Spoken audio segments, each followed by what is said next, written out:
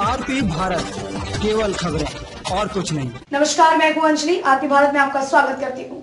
तो चलिए शुरुआत करते हैं आज की किसी खास खबर से। United Forum of Bank Union Jamtara जिला इकाई द्वारा हड़ताल दूसरे दिन भी जारी रही। बैंकों के निजीकरण के विरोध में जारी हड़ताल से बैंक बंद रहे, जिस वजह से लगभग 200 करोड़ रुपए का व्यवसाय दो दिनों में प्रभावित रहा। मौके पर यूनियन के नेताओं ने कहा कि बैंकों के निजीकरण से बैंक कर्मियों के साथ साथ आम जनता को भी भारी कठिनाई से गुजरना होगा। ऐसे में निजीकरण का विरोध ही एकमात्र रास्ता है। इस अवसर पर यूनियन ने शहर में भ्रमण कर विरोध जताया। दमदार निर्माण का भरोसा लाल स्टील टीएमटी बार्स। हर निर्माण के लिए उपयोग लाल स्टील टीएमटी बार्स। रिश्ता मजबूती का। और दो दिनों से आप लोग बंद रखे हुए हैं बैंक प्राइवेटाइजेशन होने से हमारा तो लॉस है ही साथ में आम पब्लिक का सबसे ज़्यादा लॉस है।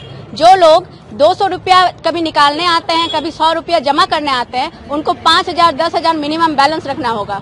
चार्जेस कटेंगे फिर और ऊपर से सबसे बड़ा बात इसमें आम पब्लिक ही सबसे ज़्यादा इफ़ेक्ट होगा उससे।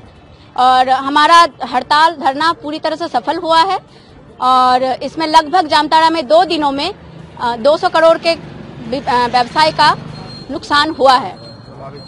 प्रभावित हुआ है। क्या नाम होगी आप मेरा नाम प्रांतिका पाल पीएनबी बैंक से हूँ मैं दुमका रोड ब्रांच।